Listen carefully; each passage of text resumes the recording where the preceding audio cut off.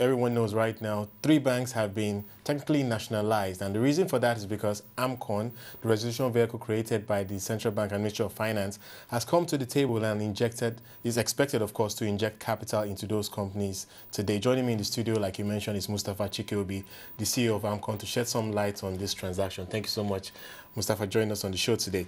First of all, what are your priorities? Because the sense is that AMCON is now the owner of these three new institutions. What are your priorities as AMCON as the owners of those banks today? Regarding the three banks, we are going to be the shareholder of the three banks, owner of the three banks. We have already announced a management team and a chairman for each of those banks. We intend for these banks to run as independent, competitive banks in the banking sector. Mm. So we expect that the management, who, as you know, are very credible management teams, to run those banks with little or no interference except normal fiduciary oversight of those banks. They will be well capitalized. They're no longer rescued banks. They are new, healthy banks. And they'll be expected to compete with the other banks in the marketplace. Mm. And we expect that this management will drive these banks to profitability so that in the end, the federal government will recover its investment in these banks. And how are things going to change for the stakeholders? Obviously, um, shareholders, to some extent, are, should I say, are more or less wiped out right now. And of course, we have um, staff in many of those banks. Um, we have investors, we or rather we have depositors, and we have other people that are doing business with those banks. How are things going to change with the um, takeover, so to speak, of AMCON? Well, um, everything that has been done has been done with three primary things in mind. Three directives that were not to be compromised. One, to protect the depositors. Two, to protect the employees of these banks. And three, to ensure financial system stability. Those are the three unchanging objectives in this exercise. Mm. I'm glad to say that after all the thought and work done in this, we can say definitely that those three objectives have been met. The depositors have been protected, the employees have their jobs, and the financial system is more stable today than it was on Friday. Mm. These customers and these depositors and the employees will find a better capitalized bank. They will find a bank that's able to compete in the future. And we think that most people that deal with these banks will get the same level of service or better going forward. And then what are the priorities after that? Obviously, you have to stabilize the institution. Um, you've put in new management, like you mentioned. But everyone will be expecting at some point for AMCON to do a deal with new investors because effectively these banks are nationalized because AMCON is owned by the federal government. AMCON will listen to investors and at the appropriate time when it's in the best interest of protecting the federal government investment in these banks, AMCON will be more than happy to sell to new investors. Mm. It's an ongoing process, but the timing and the optimal time to exit will be determined by market conditions.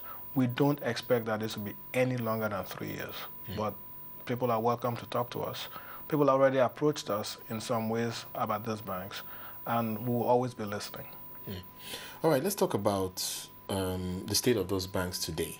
Um, obviously, AMCON is going to issue 690, 679 billion, I believe, of bonds today to pretty much complete that transaction which you've done with the NDIC. Um, what, what would those banks look like post-transaction? Can you just give us a sense of what they look like? What they will look post-transactions is that they will have more than adequate capital. As you know, the CBN minimum capital requirement is 25 billion. So for some of those banks, the capital adequacy ratio will be well over 30%. They'll be well capitalized. They will have a good, clean balance sheet, and they'll be going out looking for business so they can start growing their risk assets. Yeah. So um, we think that these are banks that will be very, very healthy, very aggressive, and very, very able to compete in the marketplace and profitability. I mean, obviously, they're going to be holding quite a few AMCON bonds, and that those are yielding something in the region of is it 10 or 12 percent?